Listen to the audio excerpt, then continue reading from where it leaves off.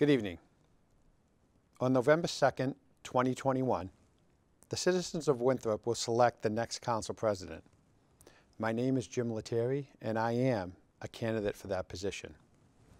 Before I tell you why I am the best candidate, let me first describe exactly what the position entails.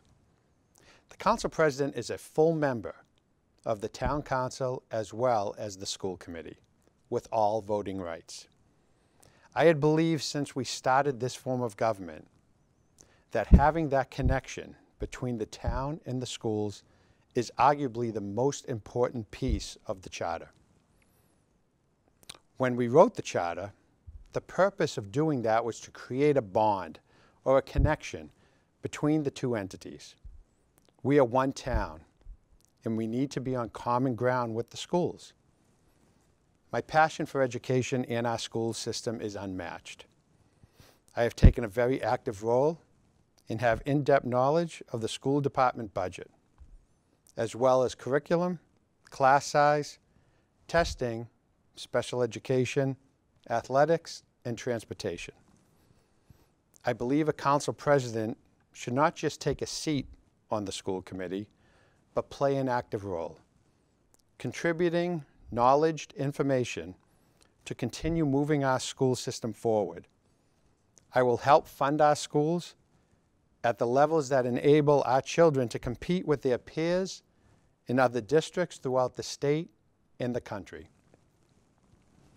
The first item I would like to look at when I'm trying to make a decision on who to vote for, regardless of the position, would be the qualifications.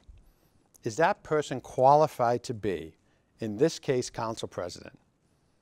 I believe that I check that box. Experience, leadership, knowledge, and maybe most importantly, character uh, qualities of a successful council president, and I strongly believe that I possess those qualities. I have been a councilor for 16 years, always keeping the interest of all citizens, not a select few, in every decision I make. I learn and more importantly, listen to both sides of every issue. I don't try to make the popular vote, I try to make the right vote. During my debate, my opponent stated that on more than one occasion, I voted on the losing side of a 7 to 2 or 8 to 1 vote. I believe he was absolutely correct. I will give you a few examples of such situations. A few years back, I questioned the Revere Street Tips project. On the surface, it looks like, and actually is, a great opportunity to refurbish that whole area with significant improvements However, we were not addressing the infrastructure below.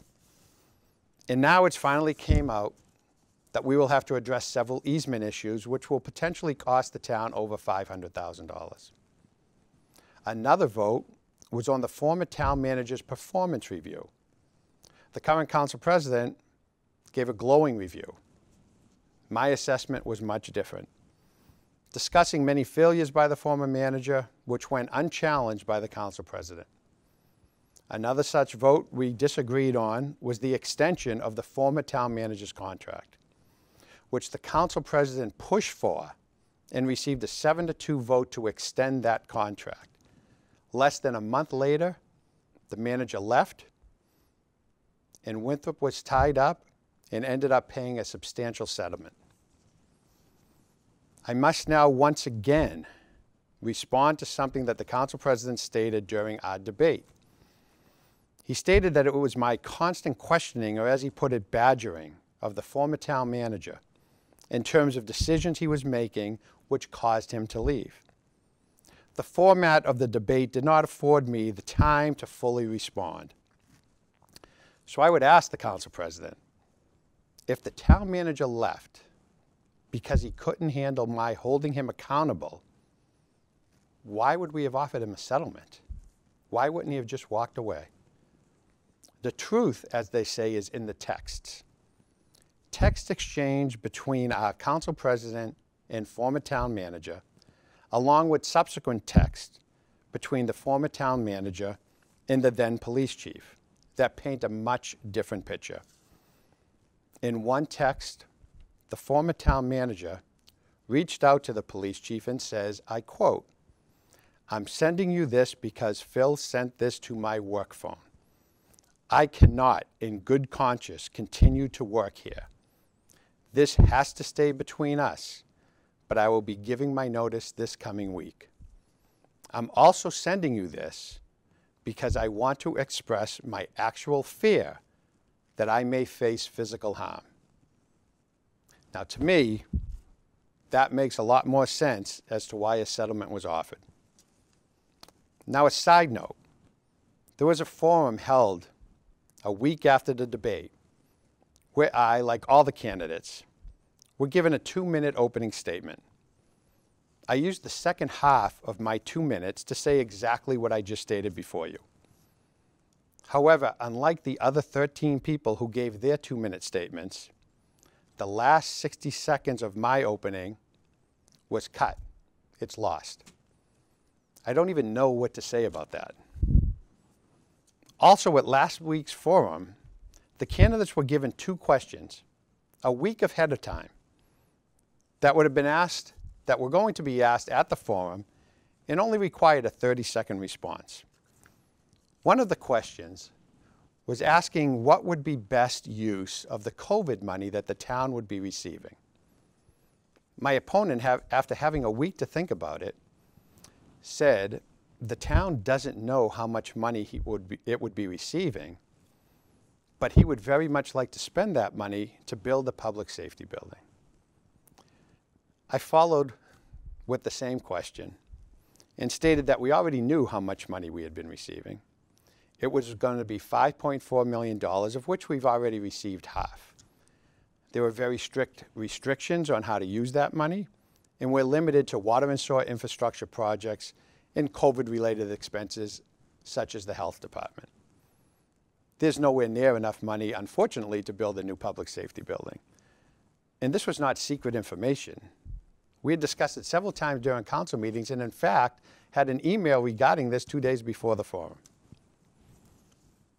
My opponent had been the chair of Rules and Ordinance for his first 14 years on the council and was involved pretty much in all ordinances over that time, including the one that stated that a political sign must be no more than three square feet, which has been the standard in Winthrop for years, which begs the question as to why would the council president make his signs double the allowable size at six square feet? My opponent's shortcomings aside, the most immediate need that this town must address is securing a town manager. There has been a need for almost four months. My opponent has yet to even select a search committee. This is inexcusable and a disservice to our town for so many reasons. We currently have an interim treasurer, an interim fire chief, an interim CFO, along with an interim town manager. Until we secure a permanent town manager, we cannot fill any of the other positions, since they are only filled by a permanent town manager. A typical town manager search will take between six and eight months, which means we will have to go through another, another budget cycle without a CFO, without a treasurer. A leader has to make decisions. Complacency, it's not an option. To come full circle, let me talk about my vision and how we will achieve it. First of all, we need to immediately begin a search for a town manager by creating a committee consisting of representation from the council, the school system, the business community, and multiple community members. We need to get our act together for fiscal 23. A public safety building has been discussed since the early 90s, to my knowledge, and probably before. Our center fire station was built in the 19th century when horses pulled the fire apparatus. We have done numerous studies over the year costing over $100,000. Now is the time we finally need to ask the citizens of Winthrop is there a willingness to fund this much needed project and let's try to get it done. Let's move on to the middle school site, which has been vacant for six years with little progress other than the planning board agreeing on the zoning. This is why leadership is so very important. Construction costs continue to soar, and we have not made any decisions yet. I will immediately do a cost benefit analysis of different types of development. What is our goal? What does the town want to accomplish with this site? Is it strictly raising revenues? Is it gross revenues or net revenues? Or is it something else? No one seems to know. There's been much talk about what might go there.